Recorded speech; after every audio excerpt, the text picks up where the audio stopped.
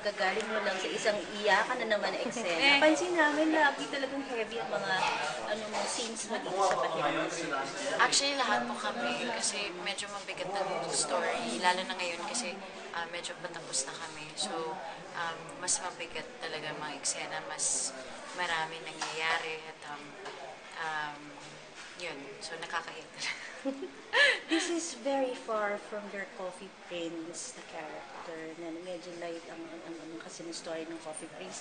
Di talaga super drama. Nahirapan ka ba dun sa transition? Um, na-challenge po ako. Yun talagang um, word is na-challenge po ako na lalo na sa dahil sa mga kasama ko po at um, um, lalo na kay Direk Mario J. Um, so it was more of exciting for me as opposed to nahirapan.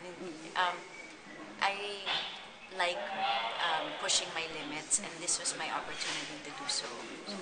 And mm, nakikita naman namin na you've learned a lot from the veteran actors and actresses here in Pahiram ng San Luis. Thank you. Um, yes, marami po ako natutunan sa kanila.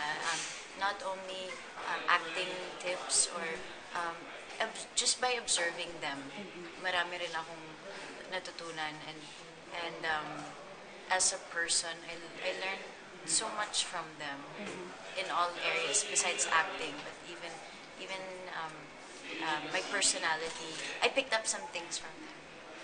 Sabi nga ni Dong kanina, kasi na-interview namin din siya dun sa isang set, na ang laki nga daw na um, pinagbago mo acting-wise from Coffee Prince tsaka dito. So, all praises ang iyong leading man. Thank you, thank you. Um, I couldn't have done it without him kasi um, sobra siyang supportive and um, he- he's very giving as an actor. I always say this, that um, um, he's so generous with his emotions. The same goes for Miss LT and um, um, si Sir Christopher De Leon. And um, I think dahil sa kanila, nadadala ako sa, sa mga eksena namin. And um, that's where I learned how to um, I guess, be more honest as an actor. Yeah, like act, yeah, with more honesty. Ano ba yung aabangan namin sa character mo dito? Medyo ang init na ng mga eksena. Ay! Um, grabe, ah, lalo na ngayon, yung mga last weeks, um, um, puro iyakan, puro um, emotional scenes, and um, kay Cindy, kailangan abangan ng mga tao um, paano na i-handle ang, ang mga nangyayari sa kanyang buhay ngayon. Um, at um, yung relationship, kung ano magiging relationship na, niya sa mother niya at kay Alex after niya nalaman na naging sila um, or may nangyari sa kanila. And um, and also her relationship with her father because um, malaki talaga ang um, an, maraming magbabago sa kanilang relationship and um, kailangan din nilang abangan ang um, um, mga iyakan na eksena, na nakakaiyak na eksena. Um, kasi dami kasi nangyayari. Iniisip ko pala lahat. Um, basta maraming drama and um, and uh, it's a roller coaster of a show right now. So, after ng pahiram, ah, anong mga klaseng roles ang aabangan namin sa iyo? Ito ba more drama or would you accept another light ah, project? sana po mas um, ah, sana po drama pa rin. Kasi Mm, para mahuni. para ma-hone po ako, para mas lalo po ako um, matcha-challenge ulit at um, um, kaya ko rin i-stretch ang instrument ko bilang isang actress. Mm, may naka-line up na ba for you after ng pahiram? Wala pa po. Wala pa. Mm, Kaya medyo matagal pa naman ang run eh, ng Opo. Malapit na ang Valentine's Day. Yeah. Anong plans? Ay, um, wala pong plans. Actually, wala. Siguro pahinga lang. Ay, kung wala po. Feeling ko, anong araw po yun? It's, I think it's Thursday. Thursday. Ah, walang taping. So, siguro pahinga. Yeah. Or magde-date na lang kami ng mga girlfriends ko na single. Mm.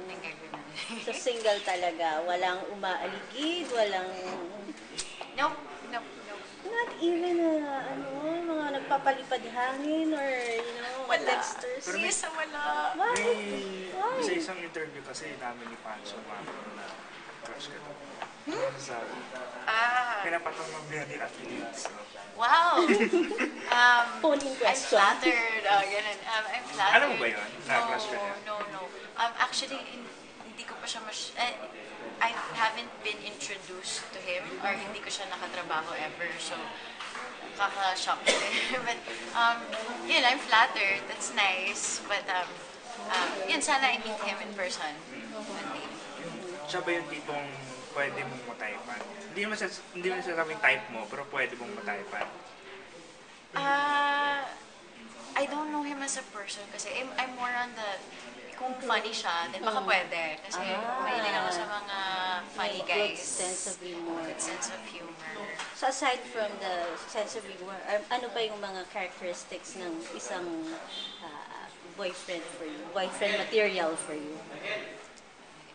Kailangan mabait, malambing, um, mapagkumbaba. Um, Kailangan ba sa showbiz or okay lang ano? mas gusto ko wala sa showbiz. Ah, okay. Ayoko po sa showbiz.